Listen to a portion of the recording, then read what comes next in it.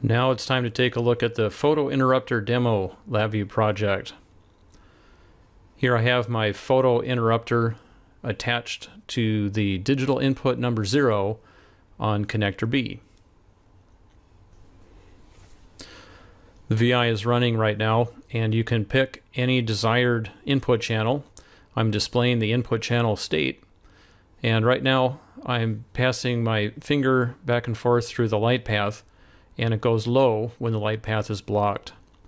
I'm also counting the number of times that the light path is blocked. If you need to change the input, you'll need to stop the VI because the input is assigned right here before going into the loop. Simply use the pull down menu and choose the desired input right here. Also, when you restart the VI, it will clear the event count back to zero. And that, at the moment, is the only way to reset the event count. All right, let's take a look at some details here.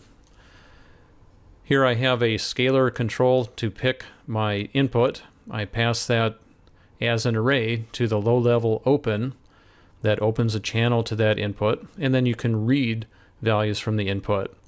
Here I'm using the index array to translate the array version of the output back into a Boolean scalar value. And that's what I'm displaying right here. Now, since I have an active low input, I'm feeding that through a NOT gate, and then this section detects a rising edge. And it does so by comparing the present state of the input to the state on the previous pass of the loop. And that generates an active high signal as a result. Now this feedback node that's used to remember the previous state is accessed here. It's under the programming palette. We'll change the direction and then if you'd like to see it looking like the traditional DSP unit delay, you can go ahead and adjust that. It's mainly a cosmetic difference though. Now this Boolean signal going high indicates that we've just detected an edge and that means we're supposed to increment the event count. Here's where it's displayed, and it's actually stored in this feedback node right here, initializing it to zero.